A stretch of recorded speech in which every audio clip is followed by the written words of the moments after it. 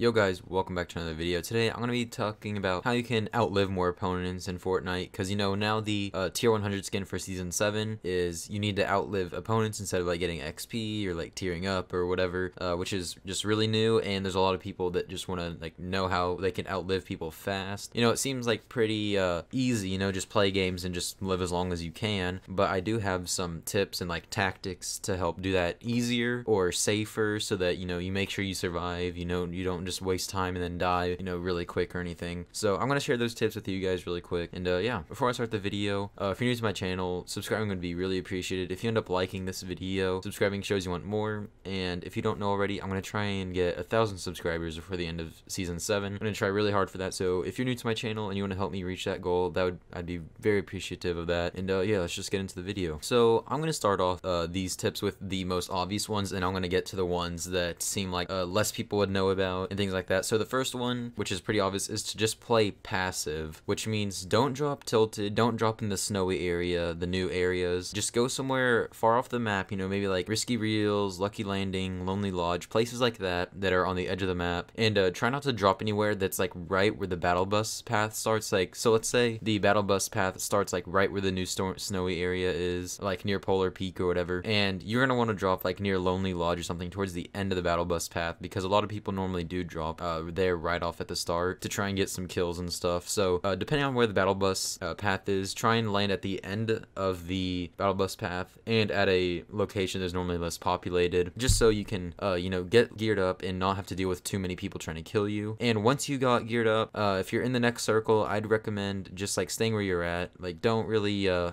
push into new locations. Don't really go to where you hear gunfire because when you're trying to outlive opponents, it's not really about getting kills. It's about just out surviving them instead of trying to kill as many people so you get the highest place as possible. But now this next tip does sound really newbie and it just sounds like what you would do if you're not good at the game or anything, but it has been proven to be really, really effective uh, with outliving people, which is to just kind of hide and camp, I guess you could say. So what you want to do is you know, like once you see where the battle bus, like once it ends, once you're out of the battle bus, uh, don't drop at a certain location. Just drop somewhere random. Maybe like doesn't even have to be somewhere where people normally go, even if it's not named. Like it could be just a random shack out in the middle of nowhere, just where you can maybe get a weapon and maybe like some shields, some bandages, something like that. And um, then you want to see where the next circle is. You want to go to that circle. You want to get as close to the middle as possible. That's not at a named location. And then you either want to wait in a bush. That's what I'm saying. It's very newbie. It's like what defaults would do uh, but it has been proven to be really effective. Or if the circle is like kind of leaning over the edge, you know, like how if you jump off the island, you die. Uh, if the circle, part of the circle's out in the water there, you can try and slide down the side of the cliff and then uh, place a floor while you're falling down uh, so that you're like hanging over the edge of the island and then just wait there, wait for the next circle, build back up. And then if that one doesn't have any water in it, then you can just uh, go hide in a bush, which it is very newbie tactic and you're probably not going to win if you do that because you won't have any good weapons, but you will out survive a lot of people. I can guarantee if you do that and you do it good, every game you should get like top 20 to like top 5 easily. And that is just a really good way of outliving people. You know, like those games easily, you know, just outlive 80 people a game, which is uh, pretty good if you think about it for how much time you spend. And you don't even have to be fully concentrated on the game while you're doing that. You could be watching YouTube uh, while you're doing that because, you know, you're not worrying about, like, listening for people because nobody's really going to find you or anything.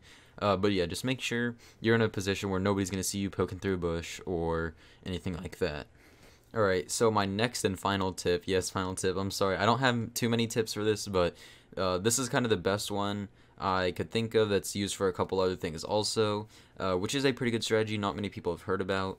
And I did mention it in another video, uh, but it is called storm skipping. There are a couple people have who have made a video on this before, uh, but generally when I say it, not many people really know what I'm talking about when I say storm skipping. So storm skipping is you want to wait like when the battle bus gets to the very end of its path uh, like right when it's about to leave the island and it automatically kicks you off the bus.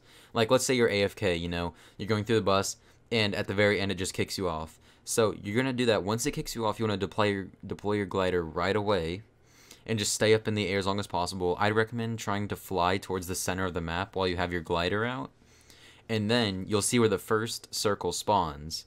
So instead of landing somewhere and having a chance of not being in the circle, the circle will spawn. You'll be in the air. Then you want to go to a location inside the circle that you see is unlooted, uh, or just like you don't see many people there or anything. Just a really uncommon spot. And then then you want to land there and then start looting. And by the time you land and you start looting, there should only be about like 60 people left maybe. So right away you have no chance of people killing you. Well, now with the airplanes there probably might be a chance of you dying, but the chances are much lower than landing somewhere right off the start. So you'll just be up in the air a lot of the time and then just land, loot up, and then after that you can do whatever you want. You can try and play passive, or you can do the strategy where you hang off the side of the island and hide in a bush. You can go pretty much anywhere uh, from there. So this is kind of like a double tactic where you can do the storm skipping and then another tactic that I said earlier in the video. Or you can just do that, you know, I already survived, like out survived 40 people. I'm just going to rush in and kill somebody or rush in and die and then get into another game. And yeah, kind of anything you want to do like that. Alright guys, that is the end of the video. I'm sorry I don't have too too many tactics uh, for outliving people. It is a pretty basic thing, but hopefully at least one of these tips could help you out. Uh, I really hope it did. And uh, if you like this video, leaving a like on the video really does help uh, support the channel and just kind of like get the video out to as many people as possible. And like I said at the beginning of the video, if you're new to my channel and you want to subscribe and help me get to the 1,000 subscribers before the end of Season 7, I'd be really appreciative of that.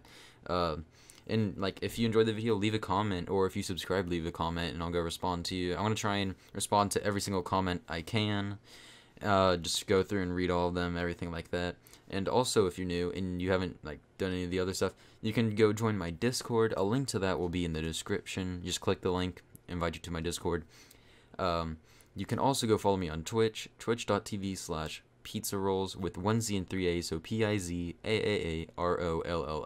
a link to that will also be down in the description uh, that you can go look at. And uh, yeah, that's pretty much uh, the end of the video. And uh, see you on the next one. Goodbye.